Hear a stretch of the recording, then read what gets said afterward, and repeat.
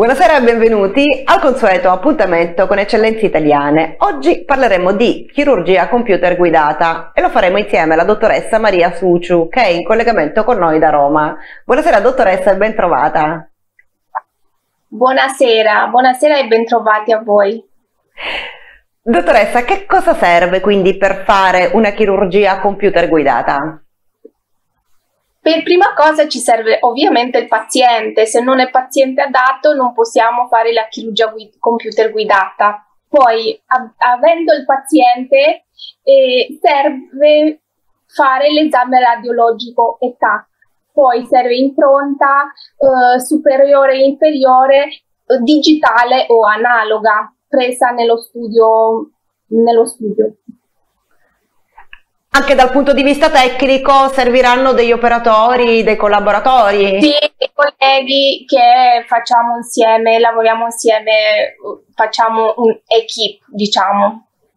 E dal punto di vista meramente tecnico, dottoressa, che cosa serve? Il progetto, ovviamente il progetto, il progetto de, dell'elaborazione di impianti, il progetto clinico, assistenza del computer, ehm, il tecnico, lavoriamo insieme al tecnico. Dottoressa, quali sono le fasi di lavorazione? In, come abbiamo detto, impronta eh, analoga o digitale, eventuale dimma chirurgica, eh, allineamento di scansioni in SPL e ras- il, um, esame radiologico, il TAC. Cosa stiamo vedendo in questa immagine, in questo momento, ad esempio?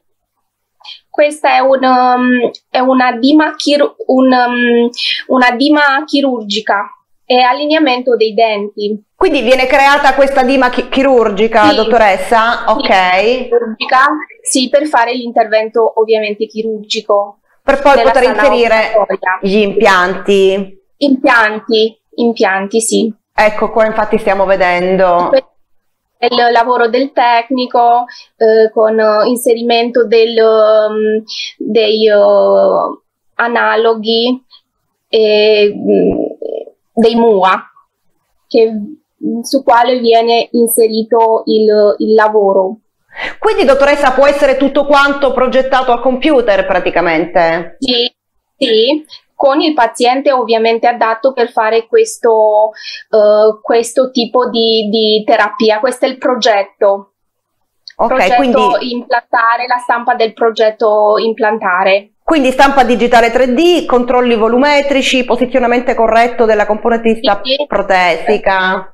Protesica, sì. Dottoressa, quali sono i benefici principali quindi di una chirurgia computer guidata? Tecnica molto, molto semplice, è tutta una lavorazione dietro di, di, della tecnica chirurgica, poi eh, la tecnica chirurgica molto semplice da usare e ovviamente devi sapere usare il kit. Il, il professionista deve avere una manualità, una, una um, devi sapere molto molto bene il, il kit, il, l'inserimento di impianti, le componentistiche implantari e tutto quanto per poter realizzare un, un, questo tipo di, di intervento chirurgico, di realizzare il progetto. Dottoressa, la fase chirurgica e... si completa in un'unica giornata, in un'unica seduta? Sì, si può fare anche in un'unica seduta, sì. Se tutto va, va conforme progetto, il progetto. Con questa tecnica, dottoressa, quindi i disturbi per il paziente sono ridotti al minimo? Sì, sono ridotti al minimo, sì.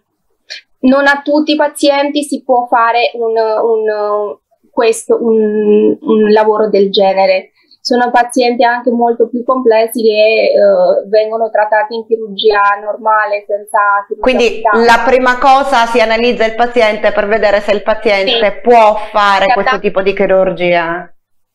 Se il paziente è adatto oppure no.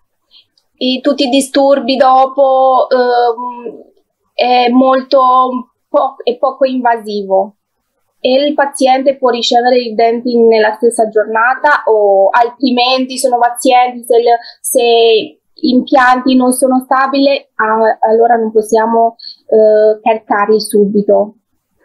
Però che hanno un osso debole o molto scarso non, non li possiamo caricare, anche se li facciamo in chirurgia guidata.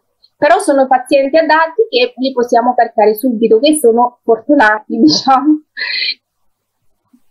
Benissimo, dottoressa, io la ringrazio per essere stata qui, è stato un piacere rivederla, a presto. Grazie, a presto, arrivederci. E ringrazio tutti i nostri telespettatori per l'attenzione. Vi ricordo che potete vedere le repliche delle nostre puntate sul portale medicina365.it. Vi do appuntamento alla prossima puntata e vi auguro un buon proseguimento di serata.